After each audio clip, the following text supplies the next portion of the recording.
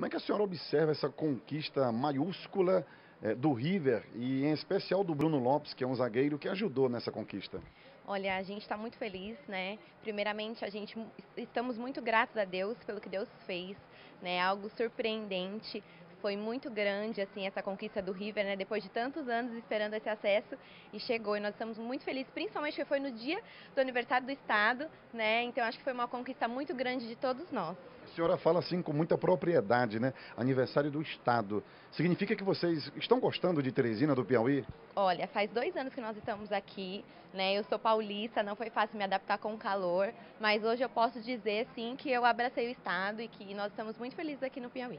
Quer dizer, esse é o primeiro acesso do Bruno ou teve outro em que a senhora participou? Casada com ele é o primeiro acesso.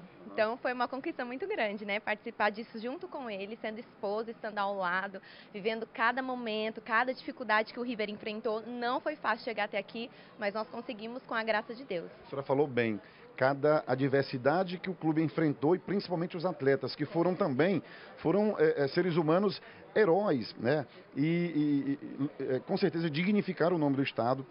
Teve salário atrasado, vocês passaram por momentos difíceis. Todo funcionário quer ter o seu salário pago em dia, mas a diretoria também ajudou, honrou, né? Foi, foi fiel a isso, né? Como é que a senhora fala sobre esse momento?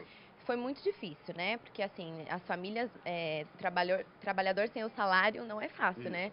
Mas assim, nós tínhamos a certeza que o presidente ia honrar, ele sempre foi um homem de palavra, desde que nós chegamos aqui, o ano passado nós não tivemos problema nenhum com, com isso, e nós tínhamos a certeza de que o salário ia vir, né? E graças a Deus agora com, com acesso, então tenho certeza que as outras folhas vão, vão cumprir e vai dar tudo certo pela senhora. O Bruno fica aqui para disputar Copa do Nordeste, Copa do Brasil, Campeonato Brasileiro e Campeonato Piauiense? Sim, com certeza, fica assim.